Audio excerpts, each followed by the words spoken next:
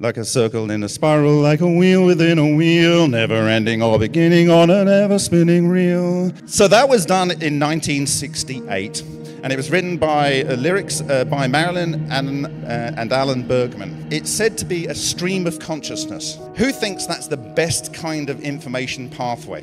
If you're trying to interject your yourself, your ego, into what you're trying to say, uh, it's not pure thought. That this came as a stream of consciousness, the lyrics, for me, says that it's actually telling you something fundamentally true about the universe. It's not a surprise to me that it is being sung by so many people, but what is also very interesting is that it's 1968. Why? Because around that time, if you remember last year, I told you about my father showing my siblings and I these four lights in the sky going and disappearing, okay? And I thought, well, okay. It was a lot later that I learned there may be some science and technology behind that. And not only that, when you look relatively to another galaxy, it's even possible that we could be going relative to them and with the universe expansion, we can actually be going much faster than the speed of light.